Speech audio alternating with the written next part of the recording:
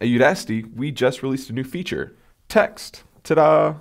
You'll be able to start seeing reading morsels show up inside your courses. But don't worry, we aren't going to make you read a novel or a textbook, but sometimes it's useful to leave text for you. Like you might see GitHub instructions or a project rubric inside a reading morsel. But the Udacity classroom isn't too large. We only have this much space to work with. So instead of forcing everything to move down, we use an overflow to make sure that text can scroll. You've probably seen something like this on other websites. Let's see what this looks like in CSS. I will right click here, go to inspect element.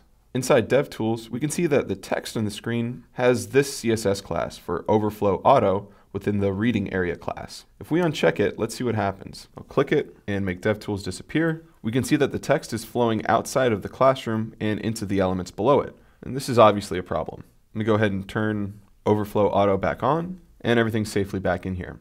It's worth keeping overflow in mind in the event that you've got a lot of text you want to contain in a small area.